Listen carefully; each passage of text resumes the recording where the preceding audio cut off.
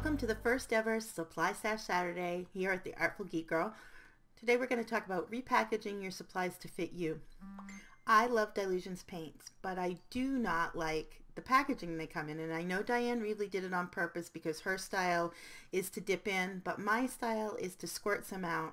And after hearing Effy Wild say that they'd be perfect if they were in a flip-top cap bottle, I decided she was right. So I purchased some bottles and a silicone funnel and with my Un-du I took the labels off from my jars and applied them to the bottles. Now you wouldn't have to do this part. You could simply just label them in the color that, that they were Dylusions in the color.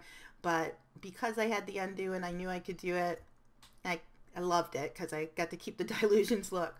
And then, like I said, I just used a silicone funnel, a silicone funnel so that I had as little paint loss as possible.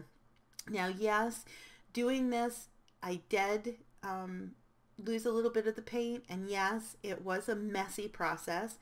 Um, not as messy as I thought it was going to be, but it was a bit messy. But for me, it was absolutely worth it.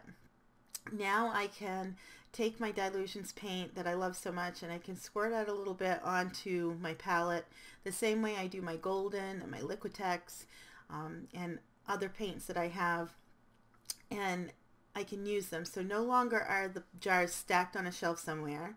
They're now sitting on my desk. I see them, I use them, uh, and I love them. I still love them, and now I love the packaging they're in. So if the packaging of a supply that you really love isn't working for you, then think about the possibility of repackaging so that it does work for you.